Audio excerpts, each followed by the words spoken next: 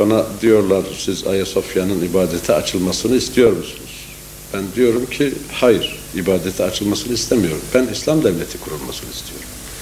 Peki o öyle ne, bir... ne demek Evet. istiyorum? Yani ana Ayasofya'nın ibadete açılması ile bu iş biterken İslam devleti kurulursa yani Ayasofya'nın ibadete açılması her şeyi kapsamıyor. Yalnız Ayasofya'nın ibadete açılmasını kapsıyor iken minicik bir iş.